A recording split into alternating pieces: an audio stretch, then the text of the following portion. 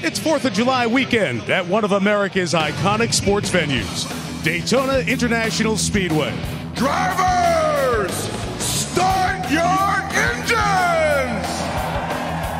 Fired up when you're ready, when you're ready. Fired home.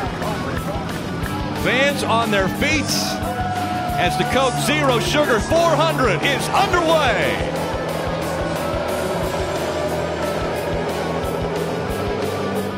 Ricky Stenhouse Jr. in the 17 out front, three wide as they fight for second at the end of stage one. Stenhouse Jr. winning that stage.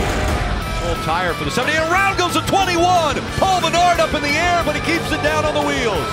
Paul Menard, when he got turned around, all four wheels looked as though they had come off the ground as he was sliding sideways. And around goes the two. Too big of a push. He caught the 41. The big one. Logano's caught up in it. Oh, my goodness. Denny Hamlin. Austin Dillon has damage. Daniel Suarez trying to avoid. Ty Dillon sliding in. Uh, just Ricky, Ricky was pushing him and also turning down the racetrack, and that was enough to turn the two car around. It was there's just so much happening right there, and they were coming up on Williams so fast that I believe Brad was sort of throttling down a little bit. Oh my goodness! Sideways the 18 hard into the wall. Around goes the 24 as well. William Byron sliding all the way to the inside wall. Jamie McMurray caught up as well. Kyle Larson avoiding the 18. He went way down on the apron. Not following his line exactly. He's also trying to side draft. So Ricky's trying to side draft 18. 18's coming down to side draft 24.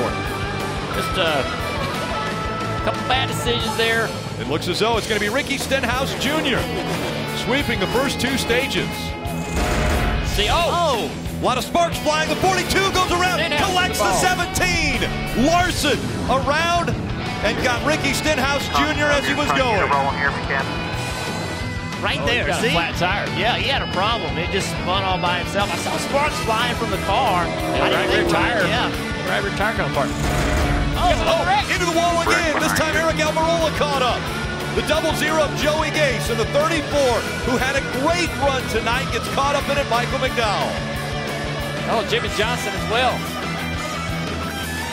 And a wheel rolling down the racetrack. The next flag will call it the 14 around. Bowyer into the wall. The caution comes out just before they get to the start finish line. Some big impacts. Bain caught up, as is Bubba Wallace. Brendan Gaughan also in this. Bubba's got a little tire rub there, but he's shoving and he just turns, sho- pushing so hard. And Clint was moving around on the front bumper and it hooked him into the wall. Coming to the tri-oval for the final time. Erik Jones has won at Daytona.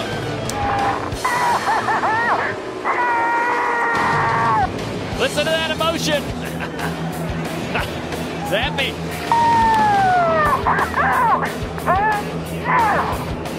The 22-year-old from Byron, Michigan, Erik Jones wins on the biggest stage at Daytona.